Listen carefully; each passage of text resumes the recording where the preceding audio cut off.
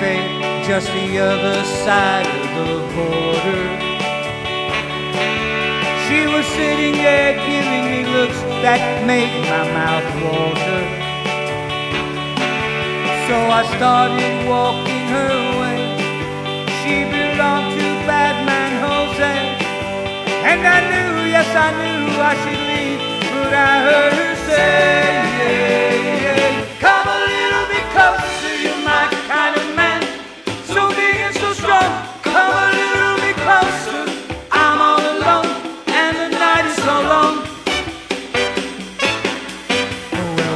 started to dance in my arms, she felt so inviting.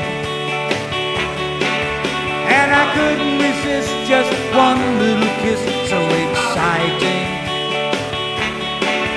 Then I heard the guitar player say, Vamos Jose's on his way.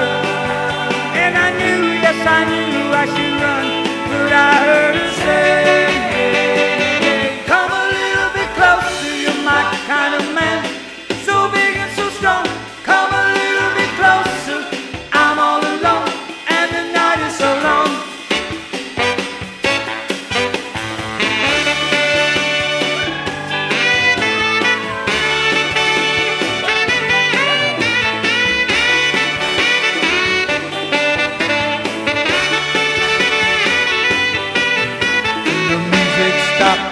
I looked, the cafe was empty.